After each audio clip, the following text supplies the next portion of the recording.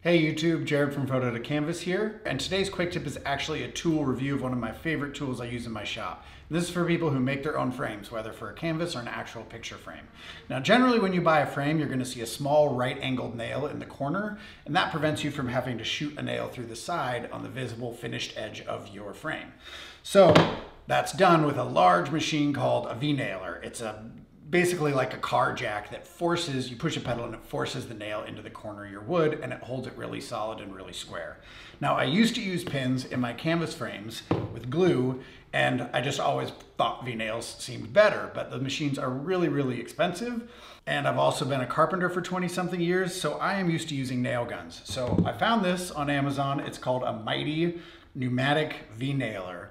The reviews are eh, but I have had nothing but awesome luck with this thing. It's about 150 bucks. So it does the exact same thing and it takes up a whole lot less space and is a whole lot cheaper. So I'll demonstrate.